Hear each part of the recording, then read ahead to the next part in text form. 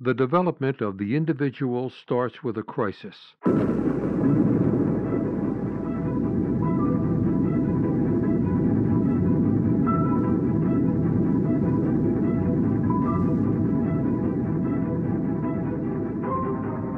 No man is born without a pattern. The problem is, we are deeply unconscious of this fact. We spend our lives living outside of ourselves. If a man could look into himself, he would see the truth. And when he does, in our days, he thinks he's gone mad.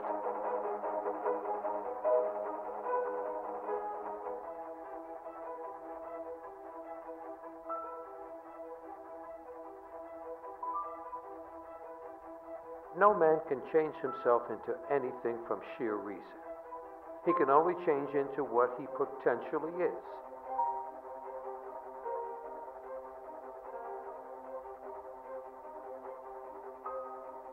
When such a change becomes necessary, the previous mode of adaptation, already in a state of decay, is unconsciously compensated by the archetype of another mode. This internal crisis marks the beginning of the development of the individual.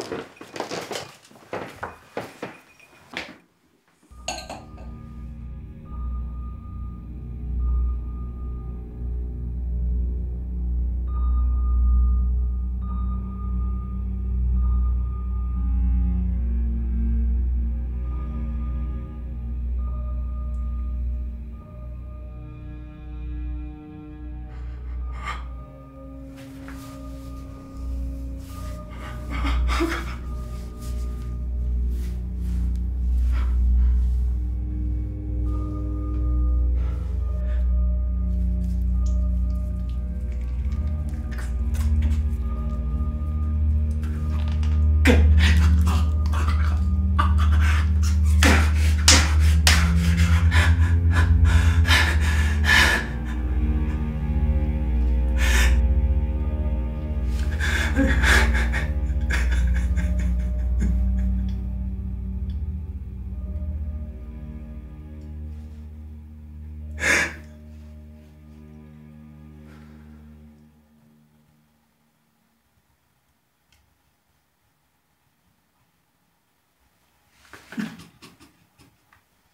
goes on because if the gap between consciousness and unconsciousness continues to widen, the subject risks the fatal split of his personality. It is a war in which he risks losing the one thing he can hardly ever attain again the innate features that make him unique.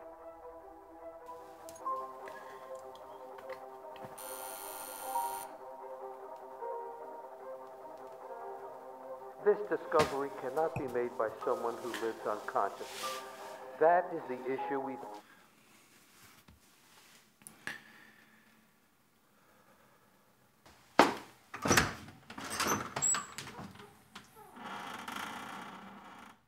When you're not expecting me for dinner? Yes, I was. Come in.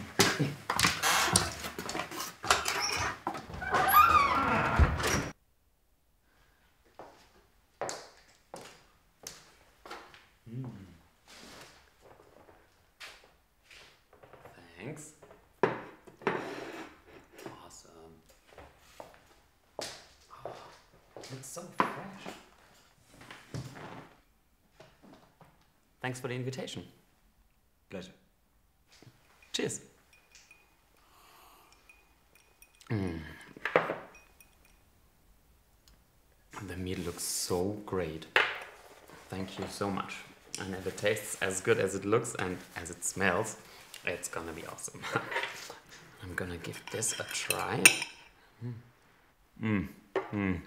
This is really awesome. Thank you so much. You just did a very good job on that. I just remember having eaten such a great steak.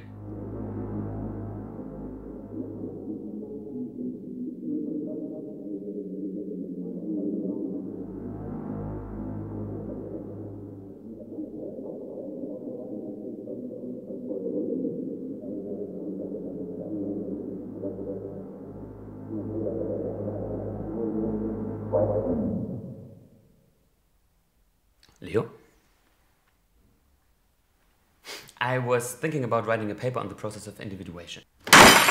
Stop! What? Don't you see what's happening to us?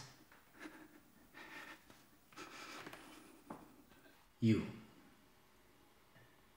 have no idea who you are.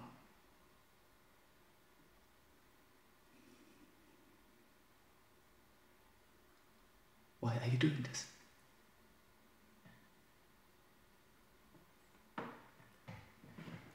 I